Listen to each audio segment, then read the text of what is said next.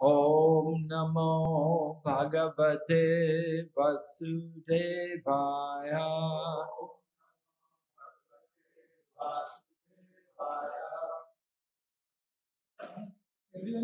Everybody knows English? Yeah? Okay, good. So we're in the presence of the divine forms of Sri Sri Nitai Gauranga. These two lords appeared about 500 and more years ago in West Bengal. Mahaprabhu appeared in Mayapur Dham and Lord Nityananda appeared in Ekachakra Dham. Ekachakra is also a dham. Some, some people may say, oh, there's no Ganga there. Usually the holy places are where the holy river flows, either the Ganga or the Yamuna, like that. It's is the holy place. But there's no place, there's no Ganga or Yamuna there in Ekachakra. Ekachakra is in Radha Desh. Radha Desh is the place where the Ganga does not flow. Anyway, it's a dham because it's also pointed out that a holy place is wherever the Pandavas stayed. So the Pandavas, 5,000 years ago, the Pandavas had come there to Eka Chakra and they stayed there and there was some pastime there. There was some demon, Bhima killed one demon there. Who, he was a real Rakshasa they were making offerings to him regularly. So the Pandavas were staying at one Brahmana's house and they wondered why the Brahmanas were grieving, the family was grieving. Then they found out it was their turn to offer to the demon. And usually the demon would eat not only the food, but he would eat also the person who brought the food. He was such a demon. He was a real Rakshasa. He ate human beings. So this Brahmana, he was supposed to go there and be eaten by the demon. But when the Pandavas found out, and Queen Kunti said, my son will go, let my son go. So Bhima went. And so Bhima went with all the food which was to be given to the demon. And Bhima, of course, he likes to eat food, you know. So he ate all the food before the demon came. And the demon came and he saw there was no food. Ah, who ate all my food? And then he saw it was Bhima. Bhima there was there. And then, of course, he, they had a great fight, a great battle. And Bhima ripped apart this demon, this Rakshasa. So that place is there. It's still there today, near just beside the birthplace of Lord Nityananda, just like 50 meters away from the birthplace of where Lord Nityananda appeared.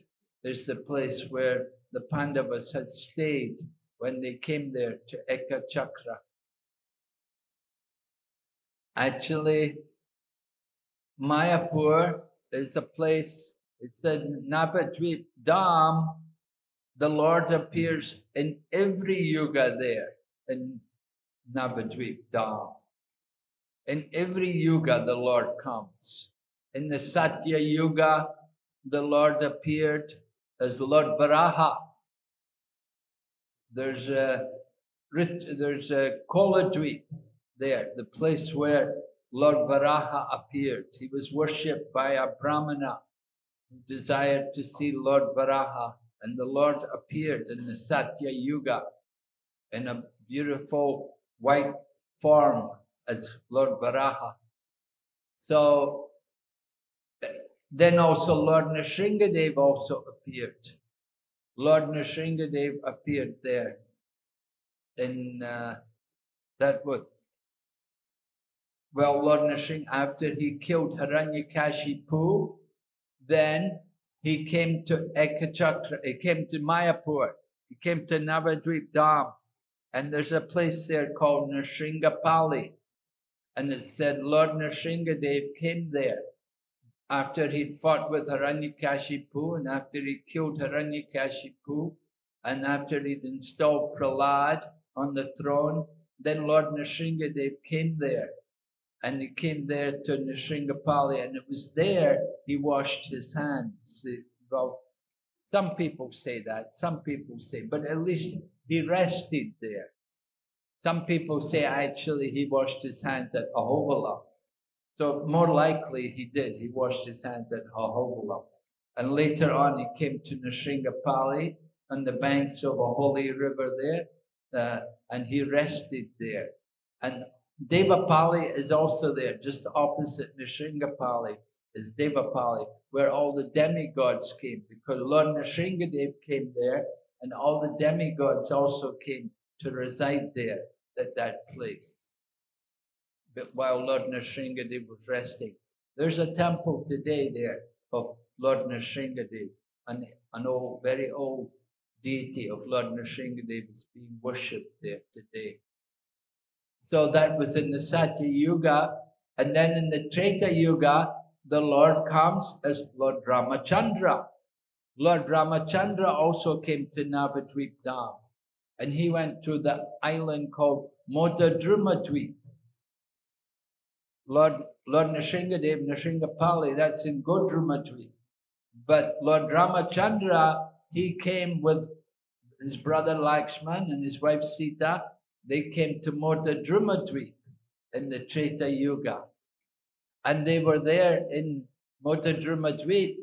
And it was there Lord Ramachandra was looking at the beauty of Motadrumadvip. Very beautiful, very green, many trees, very, very beautiful, many flowers, fragrant. And Lord Ramachandra was appreciating the beauty and he was smiling to himself. So Mother Sita saw her husband smiling and she wondered, she said to him, What is it? What, what is it giving you so much pleasure? And Lord Rama said, Yeah, he said, he said, you know, I'm thinking how in the Kali Yuga I will incarnate here in this place. And the and Lord Ramachandra, when the, he went on to explain to Mother Sita, in the Kali Yuga, I will come here in a, my most merciful form as Lord Gauranga. At that time, you will be my wife, of course. You will also come as my wife, but I will take sannyas. I will, I will take sannyas. And Mother Sita said, Oh, you're laughing, you're giving you pleasure, you're going to go and leave me, you're going to take sannyas. So Lord Ramachandra explained to Mother Sita that yes, he said, because by taking sannyas, he said, you will feel more the separation from me. And in this way, we will be reunited in great ecstasy. When Lord Rama and Mother Sita are separated, then it increases their love for each other. Just like when Krishna disappears from the gopis at the time of the Rasa Lila, Lord Krishna disappears from the gopis. So the gopis become more anxious. When Krishna was with them and dancing with them, they were thinking very great. They're thinking, oh, I'm so lucky. Lord Krishna is with me. Lord Krishna likes me so much. Each of the gopis was becoming a little proud being with Krishna. So Lord Krishna doesn't like to see his devotees become proud. So he disappeared from them.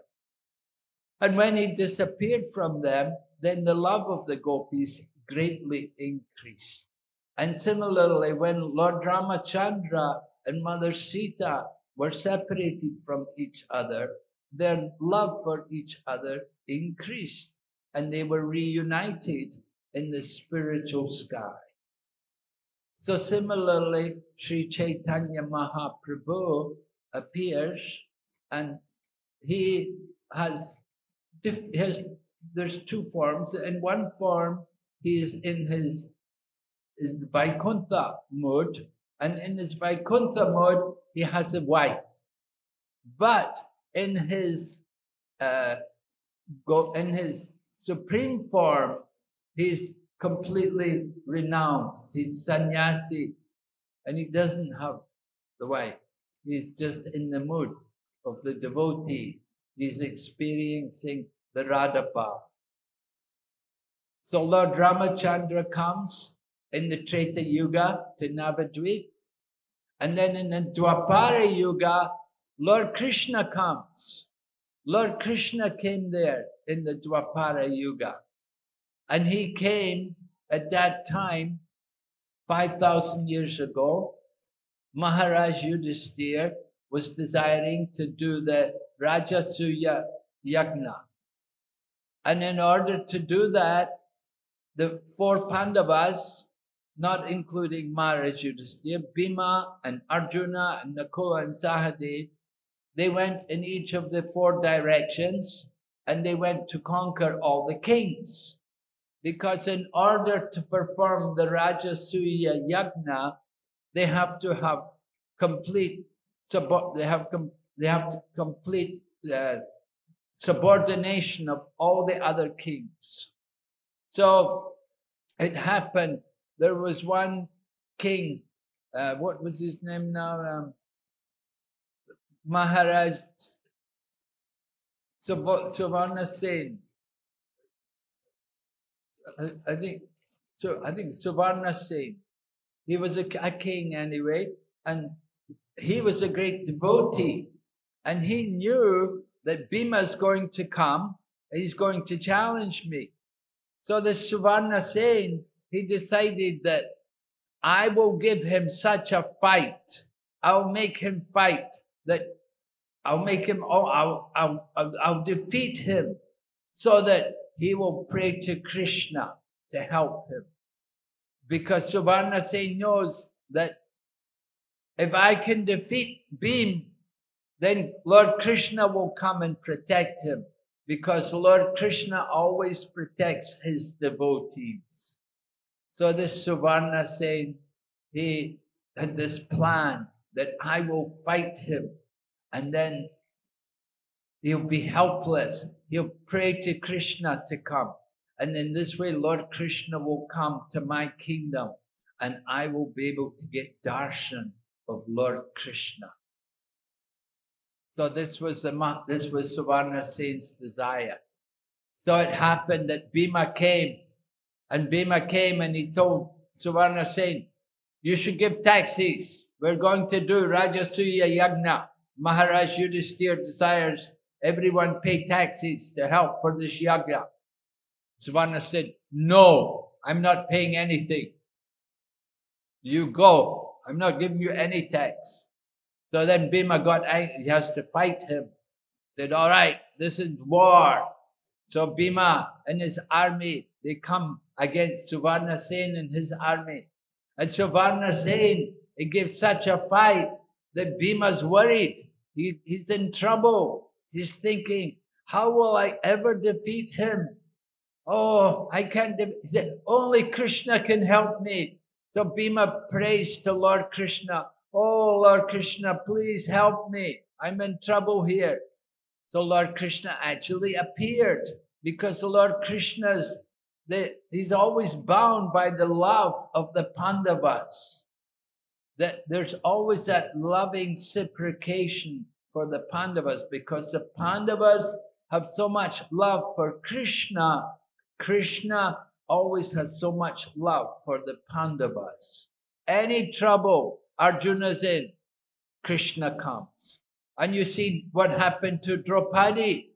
Draupadi was in trouble. They were trying to disrobe her. Krishna came in the form of her sari to protect her chastity. And Krishna came for Bhima. When Bhima ate the poison cake, the Kauravas had put poison in the cake. Bhima had ate it all, but Krishna saved them. Krishna saved Bhima. And when the Pandavas were put in the house of shellac, again Krishna gave them the intelligence how to escape. So Krishna was always taking care of the Pandavas. And Bhima was in trouble. He was praying to Krishna, Oh, help me. So Lord Krishna came there. And Suvarna saying, saw, Oh, Krishna's come. And when Lord Krishna came, then he didn't fight so hard. He said, Okay, okay, now I'll let Bhima win. He was happy, he thought, My purpose is achieved. Lord Krishna has come. And he was able, oh, Suvarna said, oh, okay, okay, I, I submit to you. Take my taxis. So Suvarna Sen got the darshan of Lord Krishna in the Dwapara Yuga. And then in the Kali Yuga, the Lord comes in his most merciful form as Mahaprabhu. And he's simply chanting and dancing. So sometimes people wonder, is Mahaprabhu really the avatar for this age? Well, it's supported in the scriptures. It's in the 11th canto of the Srimad Bhagavatam. Karabhajana Muni inquired from, oh no, Nimiraj. Nimiraj inquired from Karabhajana Muni. Karabhajana Muni is one of the nine Yogendras. Nine Yogendras were the, they were sons of Rishabdev. Rishabdev had 100 sons, and the most well-known of Rishabdev's sons was Bharat Maharaj. But after Bharat Maharaj, there was the nine Yogendras. And the nine Yogendras, they were all Bhagavats. They were all living Bhagavats. They were traveling everywhere, preaching the message of Srimad Bhagavatam and the glories of the Supreme Lord. They were very great devotees. So in the 11th canto, you can read how Maharaj Nimi inquired from Karabhajana Muni about the Lord's incarnations in each age. In other words, the Yuga avatars. And at that time, Karabhajana Muni described how the Lord comes in different ages in different colors. In the Satya Yuga, he comes in the white color, and then the Treta Yuga comes in the red color, and then the Kali and the Dwapara Yuga, he comes in the black color, and now in the Kali Yuga, he comes in the yellow color. Not, he comes, it said, Krishna Varnam Tavish Akrishnam. He comes, he's Krishna, but he's coming in the color Akrishna. He's not black. Krishna Varnam Tivish Akrishnam Sangopangashta Parshadam. Yagnae Sankirtan Prae Yajantihi Sumedasaha. So this is the verse in the 11th canto Srimad Bhagavatam describing the appearance of Lord Chaitanya Mahaprabhu and how he's coming to inaugurate the Yuga Dharma because Karabhajana Muni is describing the Yuga avatars, so he's describing the purpose. The, the purpose. Actually, Chaitanya Mahaprabhu, he's not coming only just to establish the Yuga Dharma, but he has other reasons for coming.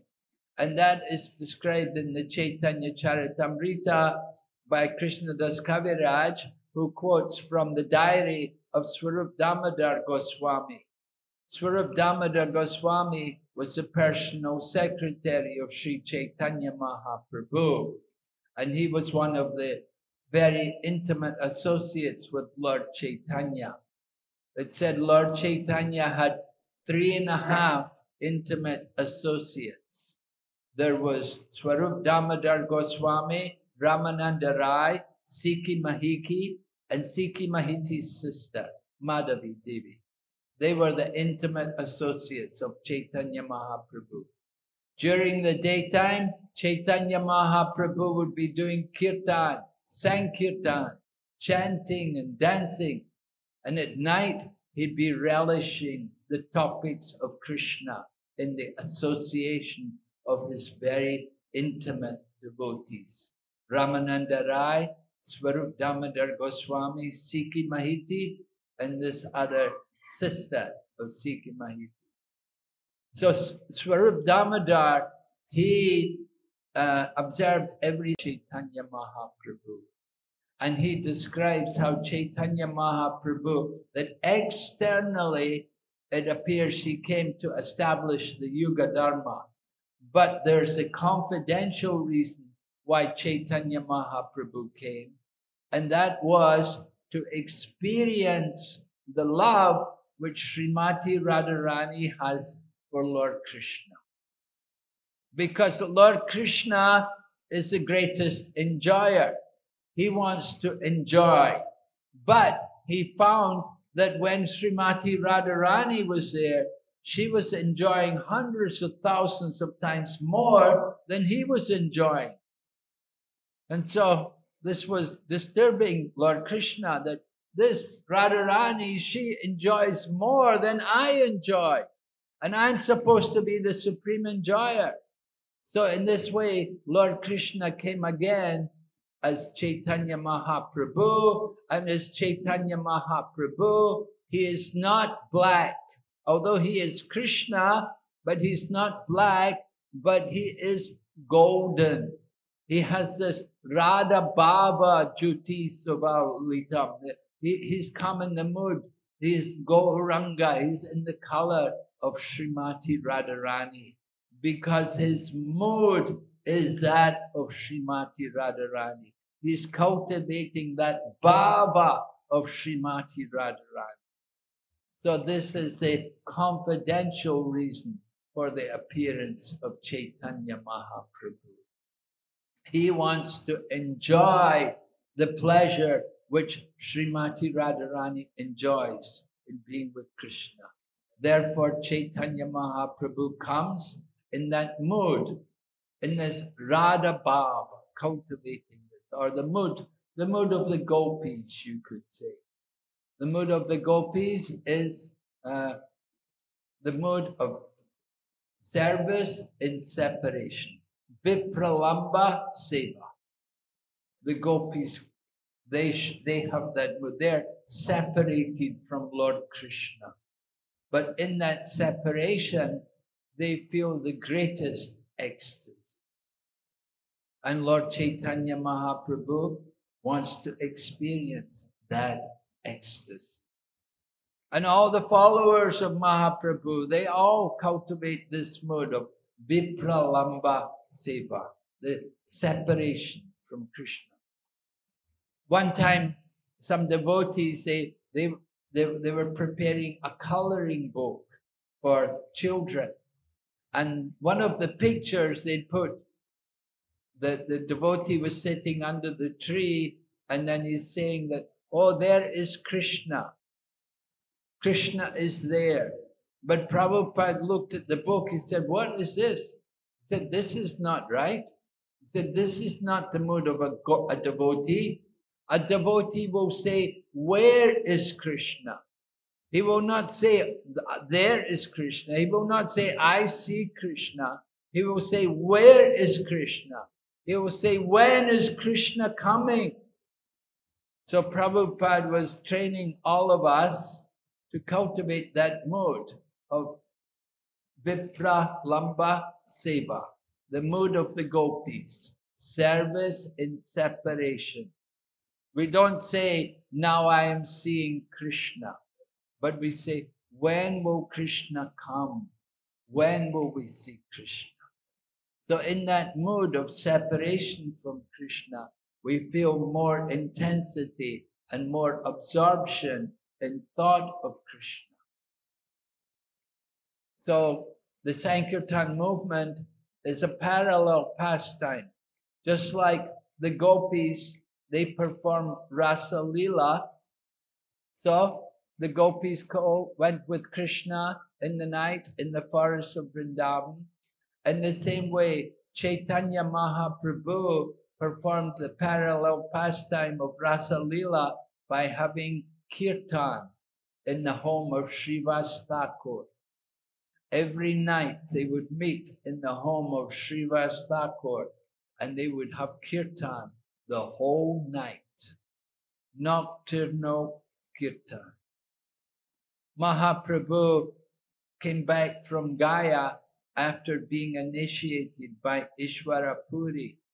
When he came back from Gaya, he just wanted to do Sankirtan. He wanted Kirtan. He told all the devotees, said, let's not sleep at night anymore. Let's just do Kirtan.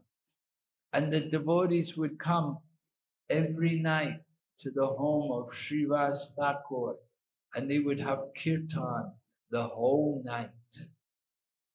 And in this way, Chaitanya Mahaprabhu didn't like to waste time sleeping. Prabhupada also said, he said, when I was a young man, I gave up eating and no, he said, when I was a young man, I conquered mating and defending. He said, now in my old age, I have also given up eating and sleeping. So Chaitanya Mahaprabhu, before he took sannyas, he was in this mood. He didn't want to sleep. He just wanted kirtan.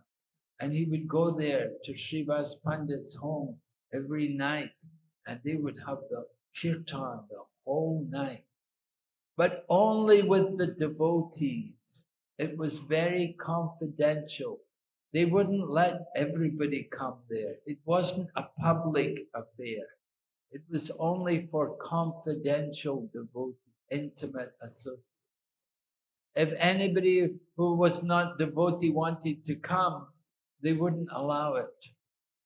There was one Brahmana who wanted to come, but he was a very materialistic fellow he wasn't really a pure hearted Brahmana. So they didn't let him come to the kirtan. So the next morning, when he saw Lord Chaitanya Mahaprabhu, he took his Brahman thread and he broke his Brahman thread. And he said, I curse you that you will not enjoy material life anymore. So Mahaprabhu was very happy to get that curse. Of course, it meant later on he would take sannyas, he would leave the home and give up the, any material pleasure which is there. Another person who wanted to see the kirtan was the, the mother-in-law of Srivas Thakur, but they wouldn't let her stay either, although she was a relative. And then there was the, Brahm, the, the brahmachari who only lived on milk and fruits. He also wanted to see it. But when Chaitanya Mahaprabhu began the kirtan, Jai Sri Nitai Gauranga Ki. So they began the kirtan. Mahaprabhu said, Something is wrong. Something is wrong. There's somebody in here who shouldn't be here. Mahaprabhu could sense that there was somebody here who shouldn't be here. So he stopped the kirtan. And then the brahmachari came out and he was humble. He was a hum, he became humble, he became repentant. He said, Oh, I'm so sorry. I just wanted to see the kirtan. Please forgive me. He said, he said, you know, I, I'm just a, a simple brahmachari and I only live on milk and fruits. I don't have any bad habits. Mahaprabhu got angry. Do you think you can get love of God just by living on milk and fruits and by being brahmachari? He said, that will not get you love of God. Get out. Get out from here. Mahaprabhu corrected him. Don't be proud of your austerity. Don't be proud of doing tapasya, but be humble so Mahaprabhu pointed out this defect in the brahmachari, that he was thinking he was great because he just lived on milk and fruit. But Mahaprabhu told him, you, you must be humble to get love of God.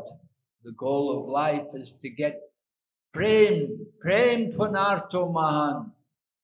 Don't think you can get that frame just by living on milk and fruits. That's not the process. You have to chant the holy name and you have to surrender to the Lord. So Mahaprabhu instructed this brahmachari and he rectified himself. So Lord Chaitanya was very merciful to so many people, giving them instruction, just like that uh, the Devananda Pandit. Devananda Pandit was another person. He was a, a scholar of the Bhagavatam, but he had no real devotion. And it happened one day, Srivas Pandit came there because Devananda Pandit had a, he had a school where he was teaching Srimad Bhagavatam. But he was not very well learned in the Srimad Bhagavatam. He did not really understand it. And Srivas Pandit came there, and Srivas Pandit heard him reciting Srimad Bhagavatam, and Srivas Pandit felt his bhava awakened. And when he awakened the bhava, different emotions began to be exhibited in his body. So at that time, the other students, they thought, oh, this person is disturbing our class. Go get him out of here. And the students all got up and they grabbed him and dragged him out of the, the room. So it was an offense. That was a great offense because Srivas Pandit was a pure devotee and he was feeling genuine bhav. And these people were manhandling him. Roughly, they dragged him out. And Devananda Pandit didn't do anything to stop them. And Devananda Pandit was their teacher. So he suffered the reactions. The teacher takes the reactions for the misbehavior of the student. So very important, the student has to behave properly and not let the reactions come on the teacher. Srila Prabhupada was very concerned about that. In fact, before Srila Prabhupada departed, he held up his arm, which was just skin and bone. He said, This is the result of accepting too many unqualified disciples. So, before we take initiation, we have to be very serious and very conscious that we are making a vow to strictly follow. And we don't want to simply burden the spiritual teacher with our sinful reactions. So Devananda Pandit, he got reactions for his students because they disrespected Srivas Pandit. And Srivas Pandit was such a great devotee. All right, I think I have to stop here. It's getting late. We don't want to be too late tonight. Is there any quick question? Anybody has? Yes, you have a question?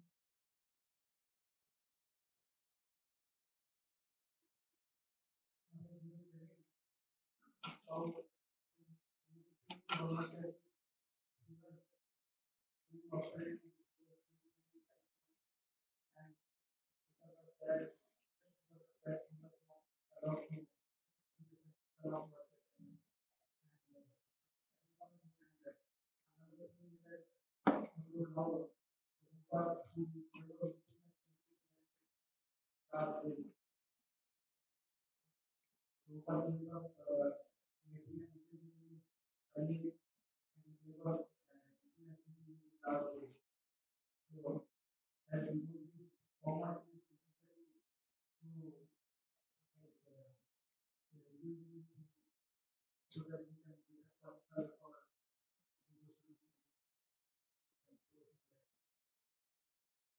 Well, there are rules and regulations for these activities.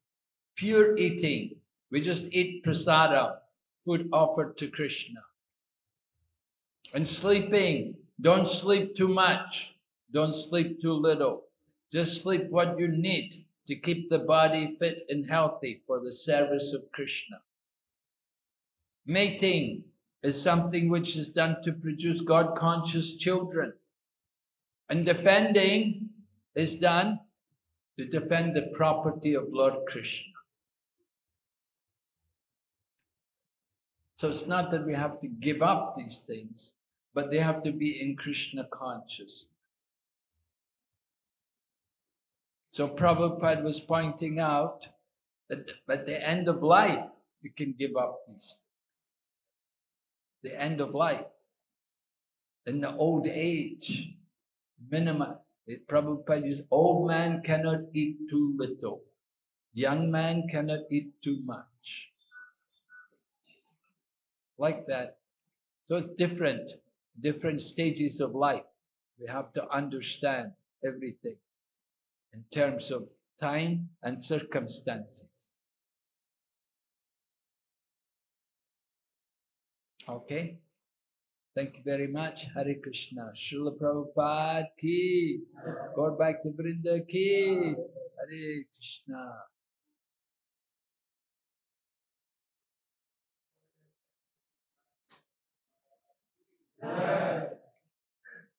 So we're looking forward to having a nice weekend. At least there's actually you're here for five days, I think, for the program. So we hope you have a packed, power packed five days, hearing and chanting, and the association of devotees. Thank you very much. Hare Krishna.